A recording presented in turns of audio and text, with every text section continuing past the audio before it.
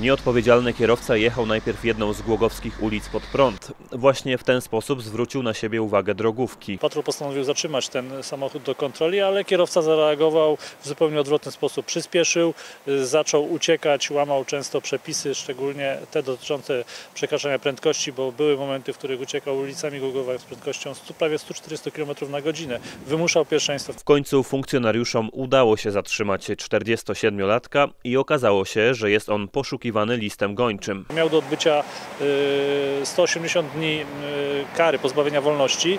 No, teraz ta jego kara się zwiększy, ponieważ złama, y, tutaj naruszył przepis dotyczący niezatrzymania się do kontroli. Jest to przestępstwo zagrożone karą do 5 lat pozbawienia wolności, ale y, te kłopoty nie, nie kończą się tylko i wyłącznie na tym, ponieważ za złamane przepisy ruchu drogowego odpowie, a będą to kary grzywny, jak i również pojazd, którym się poruszał, nie był w ogóle zarejestrowany w Polsce. Po badaniu narkotestem wyszło na jaw, że mężczyzna był także pod wpływem narkotyków. O jego losie zdecyduje teraz sąd.